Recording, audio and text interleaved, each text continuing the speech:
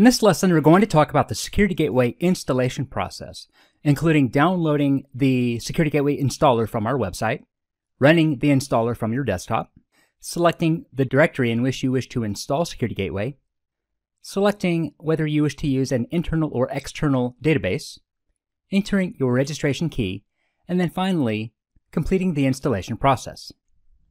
Once we've considered the various deployment considerations with Security Gateway, including where it will be installed, how accounts will be added, and so forth, then the next step would be to download the Security Gateway installer file and install Security Gateway.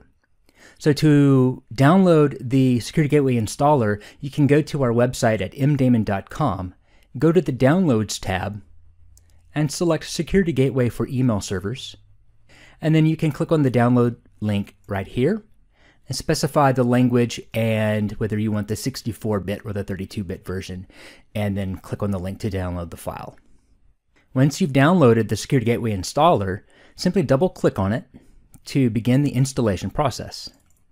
And then on the first screen, simply click on Next, read the End User License Agreement, and then click on I agree.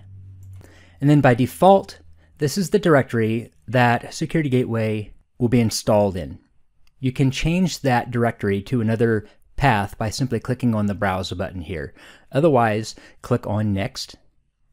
And then on the next screen, you can choose whether you want to use Security Gateway's built-in Firebird database, or if you have your own existing Firebird database that you'd like to use, then you can select the second option and fill in the server information here to connect to your external database. Most of the time, Security Gateway's own internal database will be used. So we'll select the first option and then click on Next.